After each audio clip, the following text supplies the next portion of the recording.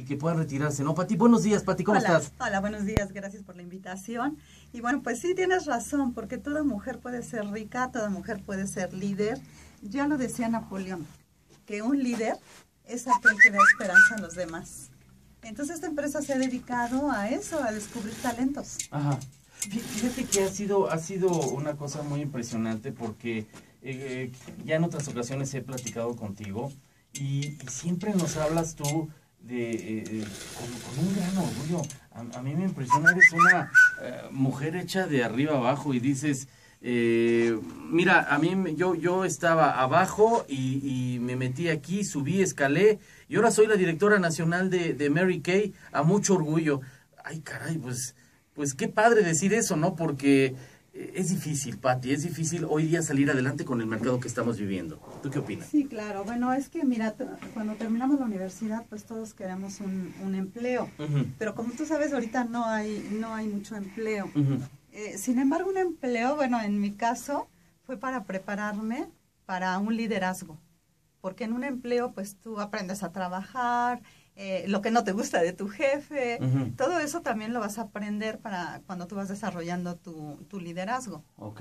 Uh -huh. Ahora, dime algo, eh, ¿cómo descubriste Mary Kay? ¿Dónde, ¿En qué punto de tu vida estabas cuando buscaste Mary Kay? Mary Kay eh, es, es una empresa que hace empresarios sí. independientes, es decir, no necesariamente tienes un jefe. ¿Así, ¿Así lo entiendo? Sí, tú eres tu propio jefe. Ajá. Sí, tú y, trabajas a tu ritmo. ¿Y cómo encontraste tú tu, a Mary Kay? ¿Cómo creciste en él? Platícanos un poquito de esto. Claro que sí. Mira, yo trabajaba en, en dos escuelas. Trabajaba en el Politécnico Nacional dando clases okay. y, y, en una primaria.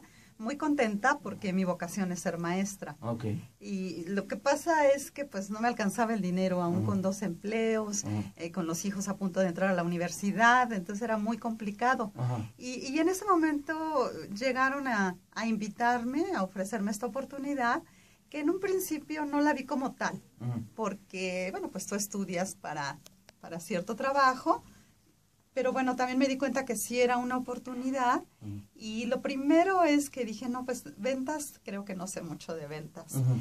eh, sin embargo, mi, mi, directora, que era americana, estaba abriendo realmente la empresa aquí en México, me dijo una, o sea, me hizo una pregunta clave, uh -huh. que me dijo, pero puedes aprender.